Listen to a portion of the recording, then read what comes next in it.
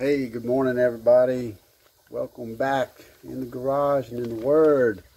Reading from the book of Habakkuk, last few verses of chapter 3 here.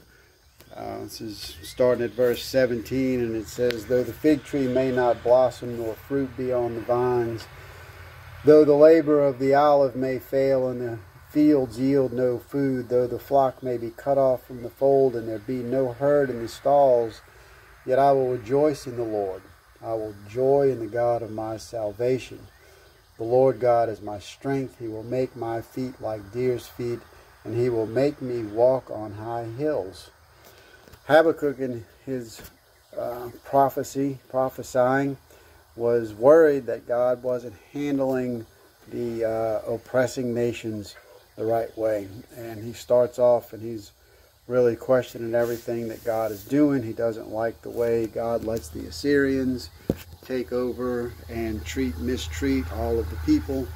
But uh, he comes to his senses in the end, and he says, even though things are really bad, there's no food on the table, there's no, uh, there's no flocks, there's no nothing.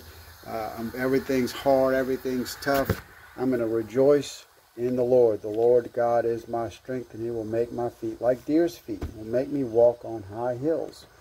And this is a great passage to keep in mind whenever we're going through tough times, is that uh, going back to the book of Job, um, we talk about the patience of Job, but actually what the lesson was was that God does what God wants to do when God wants to do it, and it's not for us to question. So if God is using the Assyrians in your life, to teach people a lesson. That's God's thing. That's what He wants to do. You have to turn around, face God, and say, You are my strength. I put my trust in you 100% all the time. And Habakkuk says this uh, back in chapter 2 and verse 4. He says, Behold the proud, his soul is not upright in him, but the just shall live by his faith. It's a great note here. It says, Moses gave Israel uh, 613 commandments, and David reduced them to 10, and Isaiah to 2, but Habakkuk to this just this one, the just shall live by his faith. And that's where we get to back here in chapter 3, verse 17. It's actually 19. The Lord is my strength. He will make my feet like deer's feet. he will make me walk on high hills. This is what God does.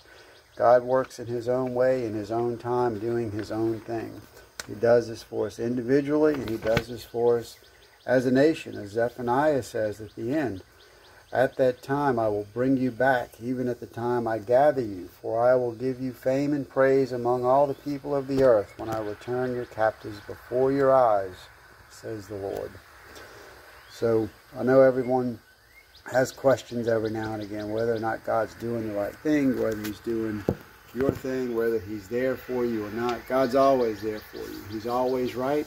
And as my lovely wife Caroline always says, God is almighty all the time.